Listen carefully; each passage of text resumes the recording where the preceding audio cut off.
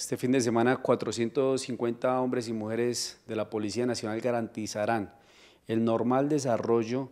del fin de semana con puente festivo en el municipio de Tuluá y los municipios aledaños de Trujillo, Andalucía, Bugalagrande y Río Frío. En ese sentido tenemos dispuestos a hacer patrullas mixtas también en articulación con el Ejército Nacional a través de puestos de control, grupos de reacción motorizada para poder tener la mayor cobertura posible en los diferentes escenarios que se van a desarrollar. Ante esto, el comandante del segundo distrito de policía de Tuluá insta a la comunidad a tomar medidas de seguridad.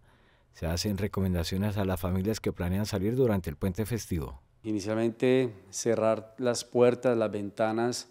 eh, de la mejor manera, tener, eh, agotar todos los recursos en materia de seguridad,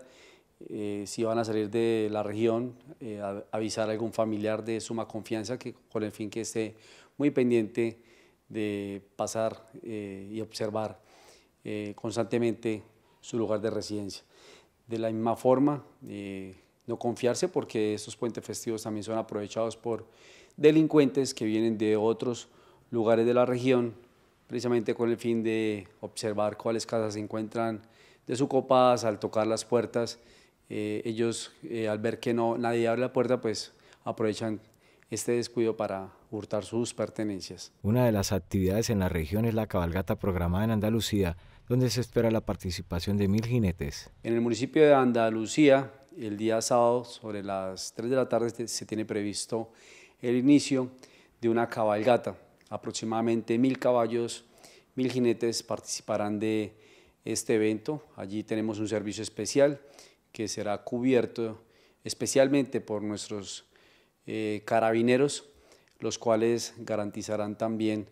no solamente el desarrollo de este evento, sino también la protección